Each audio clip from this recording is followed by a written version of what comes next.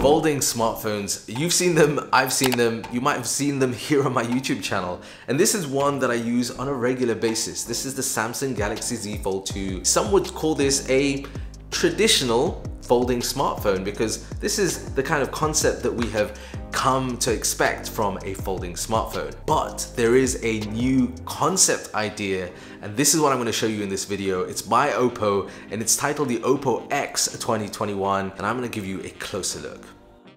So straight off the bat, this isn't really considered a folding smartphone. It would be considered a rolling smartphone, but the main concept is the same where you get a smartphone that then can extend out to something like a tablet. And that's exactly what the Oppo X 2021 does. You have an OLED display that starts off at 6.7 inches and then extends as large as 7.4 inches. Now how it does this is very interesting, very unique.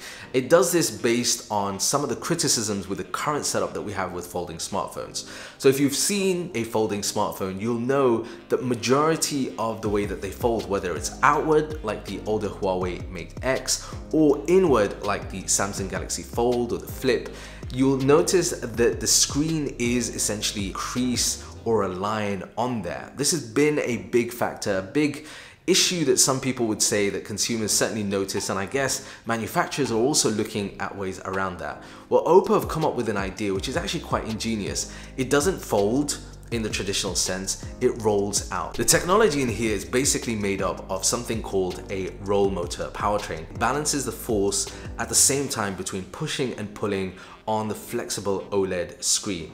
What that does is it allows you to retract and extend without those familiar you know, creases on the display. It gives you a smooth OLED display, whether it's retracted or extended.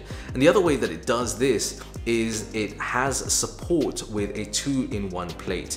That means that when you're swiping, you're pressing on that display, there isn't going to be a gap that you know pushes through that display. So it gives you uh, rigidity and it also gives you strength in that display.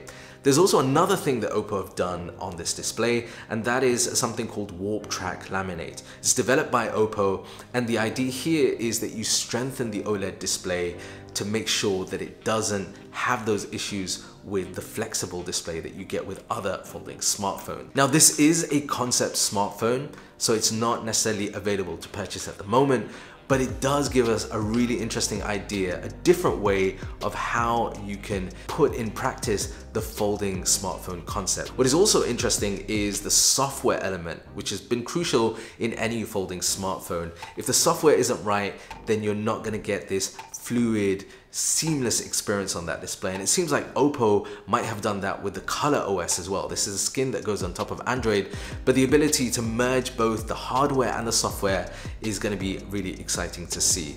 Let me know what you think about this concept of a folding smartphone. Is this something that you'd like to see in the future? If you've enjoyed this video, then hit here to check out another really cool video. I'll see you over there. Peace and blessings.